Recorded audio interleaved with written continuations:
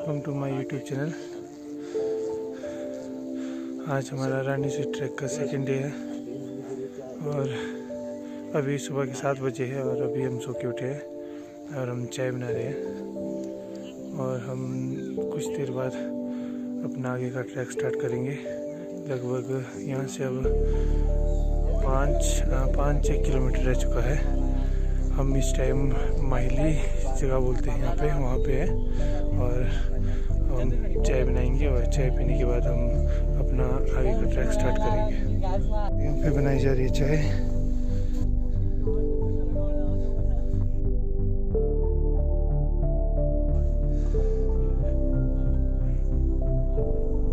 बना ली है चाय। वेदर कंडीशन आज थोड़ी ठीक है। धूप निकल रही है और थोड़ा क्लाउडली सा भी है। पता नहीं बारिश होगी कि नहीं होगी। आई होप कि ना हो।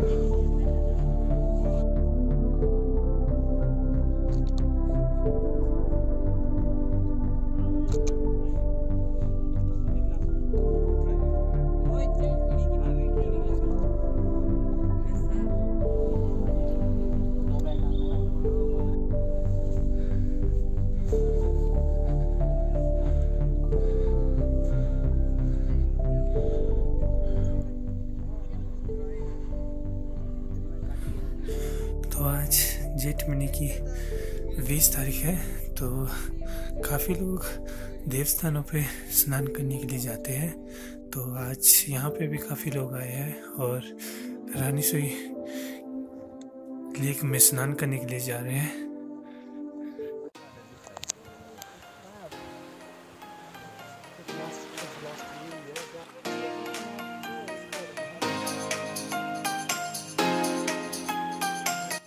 तो यहाँ से हरिपुर का ये दिख रहा है और नीचे को कुल्लू वैली दिख रही है।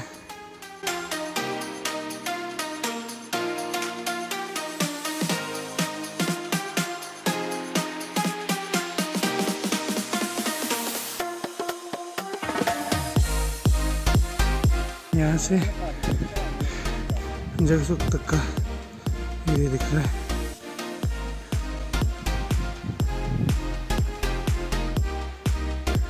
तो इस पूरे ट्रैक में आपको एक ही जगह पे पत्थर मिलेंगे वो है ये एरिया यहाँ पे आपको काफ़ी अमाउंट में पत्थर मिलेंगे।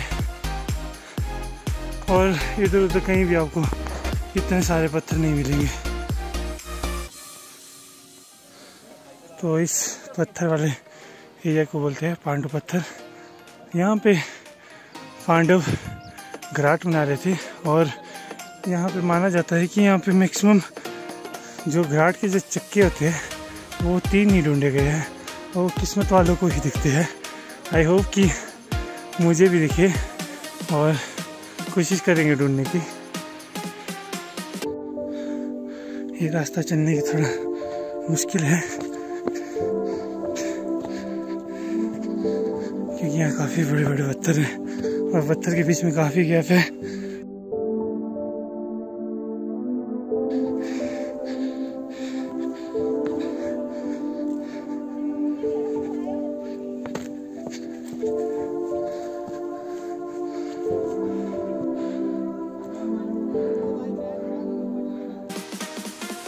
तो हम इस रास्ते से आए ये भी काफ़ी डेंजर है। बीच में काफ़ी नीचे को खाई खाई सी है। इस साइड थोड़ा क्लाउडली हो गया और नीचे को धूप है। और यहाँ पे भी आगे फिर से वैसे ही पत्थर वाला रास्ता है। और हमारे साथी ऊपर पहुँच चुके हैं। पत्थर वाला एरिया कवर कर लिया है।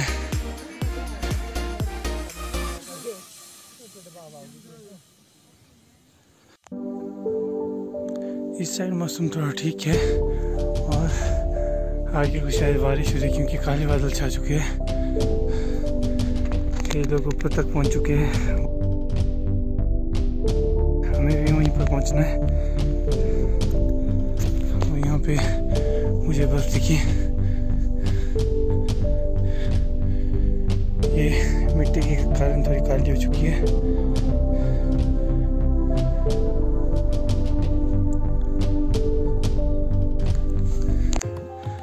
तो मुझे मिल गया है यहाँ पे रुआड़ यहाँ पे लोकल भाषा में से रुआड़ कहते हैं। मुझे इसको एग्जैक्ट बताना नहीं आ रहा कि इसको हिंदी में क्या कहेंगे। ये छोटे घर की तरह होता है।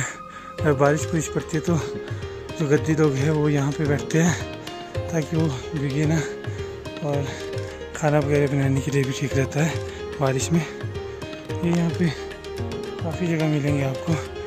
ये खुद बनाए गए होते हैं और कई जगह पे ये नेचुरली बने होते हैं पत्थर से।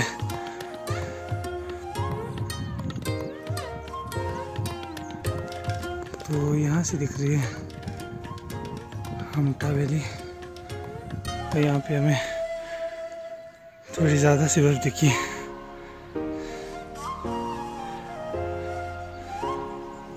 अब आगे को लगता है शायद बर्फ़ वाला एरिया आने वाला है, क्योंकि यहीं पर ही काफ़ी अमाउंट में बर्फ़ है। इस साइड का व्यू काफ़ी अच्छा है। तो यहाँ पे बारिश हो रही है, पर बारिश के जगह पे यहाँ पे ओले पड़ रहे हैं क्योंकि यहाँ पे टेम्परेचर काफ़ी डाउन है। तो बारिश की बूंदें है वो, ओले के रूप में गिर रही है। अब कुछ ज़्यादा ही ओले पड़ रहे हैं। यहाँ बर्फ़ पे भी काफ़ी टिक चुके हैं। अब हम जितनी हाइट में जाएँगे, हमारी साँसें थोड़ी फूलना स्टार्ट हो जाती है। क्योंकि यहाँ पे जितनी हाइट में हम चलते हैं तो ऑक्सीजन की कमी होना स्टार्ट हो जाती है धीरे धीरे। सांस फूल जाती है और थकावट सी फील होती है।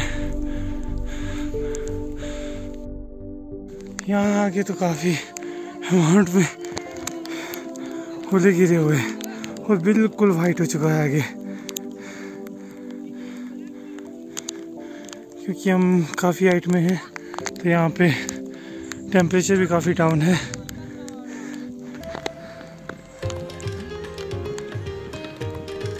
आगे पूरा वाइट हो चुका है।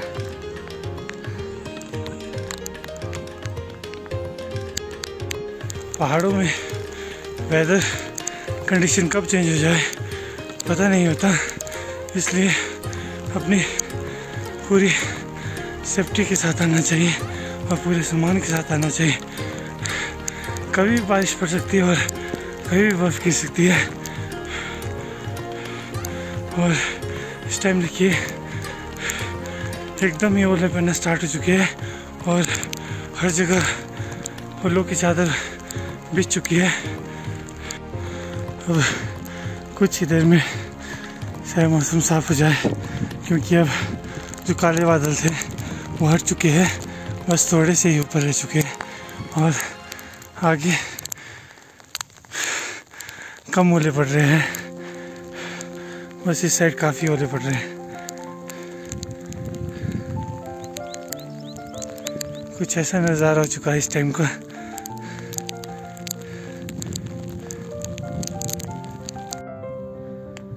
तो यहाँ से दिख रहा है रांगड़ी, मनाली। और यहाँ से दिख रहा है रोहतांग दरा शायद आपको क्लियर दिखाई दे रोहतांग का रोड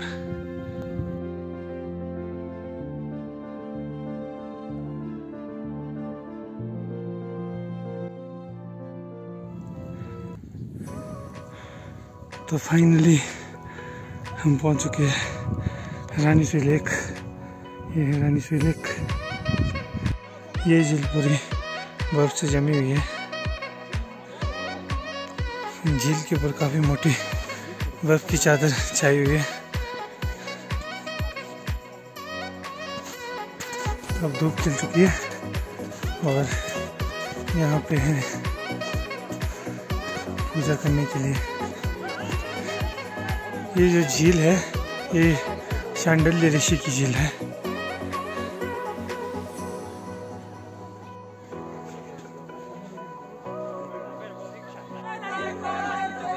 काफ़ी लोग स्नान कर रहे हैं, पर मुझमें इतनी कैपेसिटी नहीं कि मैं ऐसे बर्फ़ वाले पानी में नहाऊं। मौसम साफ़ हो चुका है।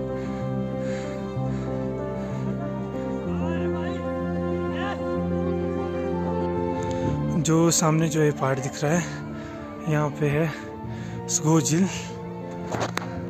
काफ़ी लोग यहाँ का ट्रैकिंग करते हैं और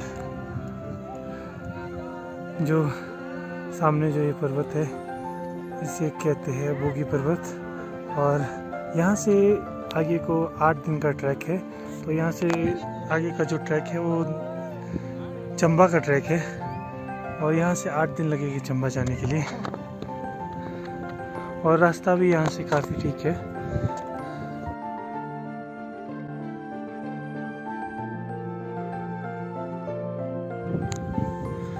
सैंडल ऋषि शिलीन के यहाँ पे शाही स्नान और यज्ञ के लिए आते हैं। ये जो झील है, सैंडल ऋषि जी की झील है। काले बादल छा रहे हैं। लगता है कुछ ही देर में बारिश होने वाली है। कुछ ही देर में बारिश होने वाली है तो हम लोग जा रहे हैं वापस।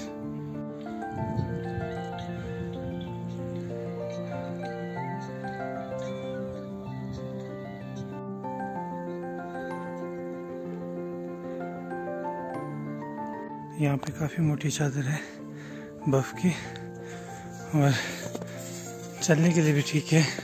और कई जगह पे बर्फ़ काफ़ी नरम है तो पाँव बर्फ़ के अंदर जा रही है।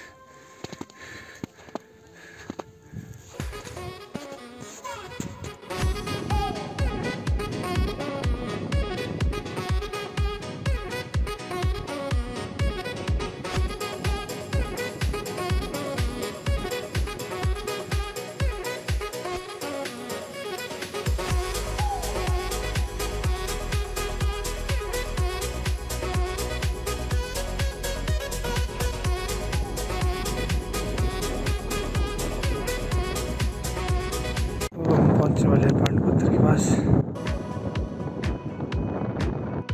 तो हम ग्राट का पत्थर ढूँढने के लिए इस एरिया से आए। एक हमें जाते हुए मिला था तो एक हमें एक और मिल चुका है।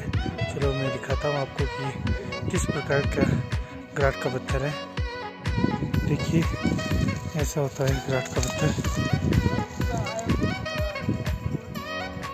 तो हमें यहाँ पे दो और मिल चुके हैं पर इसमें शायद दूसरी साइड छेद होगा पर या फिर इसमें छेद नहीं है एक यहाँ पे है।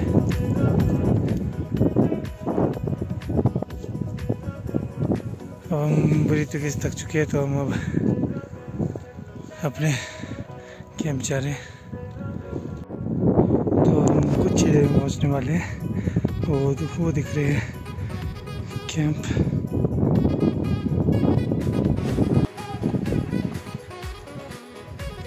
पहुँच चुके हैं। अब हम थोड़ी देर रेस्ट करेंगे, फिर खाना बनाएँगे। बैटरी बहुत कम रह चुकी है तो पावर बैंक में भी बहुत कम बैटरी रह चुकी है तो अभी चार्ज करेंगे।